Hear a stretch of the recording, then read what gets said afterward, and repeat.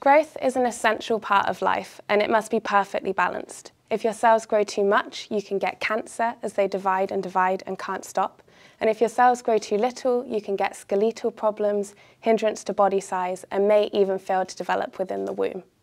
Proteins are key to this, as these are the building blocks that make up our cells and our bodies, and small changes in them and how they interact with each other can signal to cells to grow or stop.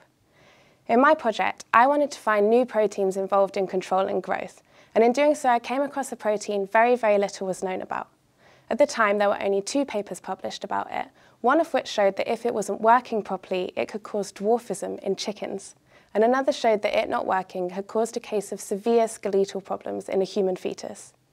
More recently, a group from the USA has shown that if you get rid of this protein in a mouse, those mice become 30 to 40% smaller. That is almost half the size. And this is a protein of completely unknown function. Therefore, I wanted to spend the rest of my PhD finding out what this protein was doing and how it was having such a dramatic effect on growth. So one of the first things I did was to type out the DNA sequence to the protein, which is like the script that cells read to make it, and add on the sequence for GFP, which is the bright green protein that makes jellyfish glow. Through doing this, when I put it into human cells, they'd make my protein with a bright green tag on the end, meaning when I look down a microscope, I'd be able to see exactly where in the cell it was. I did this, and what I saw was really, really striking. I could see a huge accumulation of perfectly spherical, hollow, donut-like structures dotted all around the cell in bright green, which were really odd. This gave me some serious detective work to do, staining these with a huge range of different things to try and find out what they were, and I found that they were filled with fat, as you can see in red in the picture behind me. This was really unusual, as these cells don't normally contain fat droplets, and certainly not on this scale.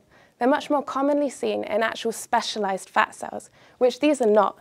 So this led me to believe it was me forcing the cells to make more of my protein that was driving the formation of these fat droplets, finally giving me a major clue towards its function.